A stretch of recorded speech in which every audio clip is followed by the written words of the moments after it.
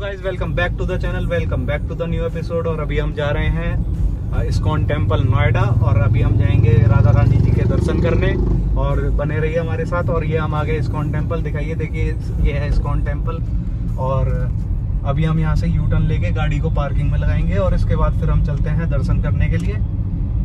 भगवान का आशीर्वाद भी लाइफ में बहुत ज़रूरी है। बिना भगवान के आशीर्वाद के तो कुछ हो ही नहीं सकता। और आज आप और आज हम आपको दिखाएँगे इस्कॉन टेंपल नोएडा। तो चलते हैं। अभी तो यहाँ पे ट्रैफ़िक लग गया है। गाड़ी मुड़ रही है।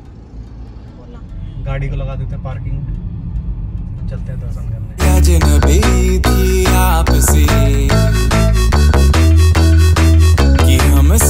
रीच्ड इस्कॉन टेंपल नोएडा और अभी हमने गाड़ी लगा दी है पार्किंग में और अभी हम चलते हैं यहाँ से दर्शन करने के लिए।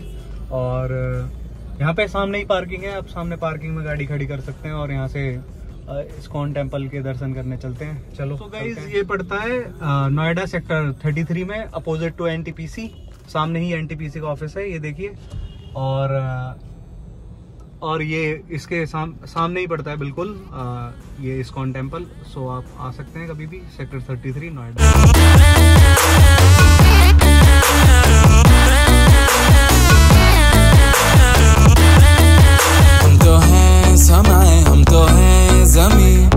है जूते रखने के लिए यहाँ पर।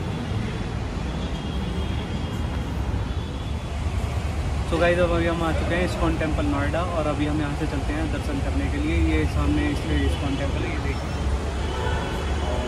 अभी चलते हैं हम यहाँ से दर्शन करने के लिए। काफ़ी अच्छा टेंपल है, आगे यहाँ पे सुकून मिलता है। तो चलते हैं, चलो आया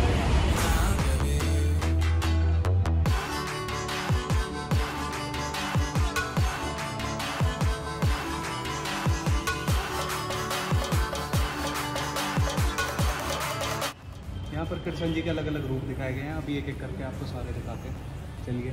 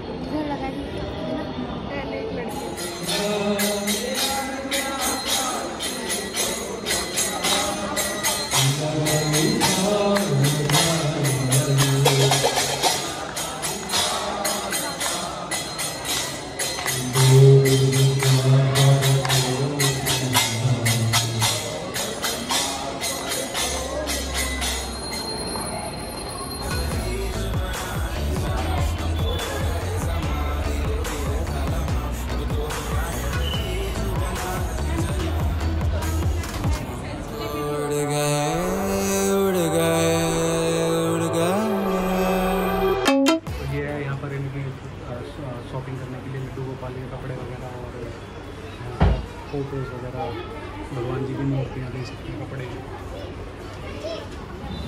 सो so, अभी हमने पूजा पाठ कर ली है और आरती हुई यहाँ पर और प्रसाद मिला और मुझे ये माला मिली और ये फूल मिले हैं।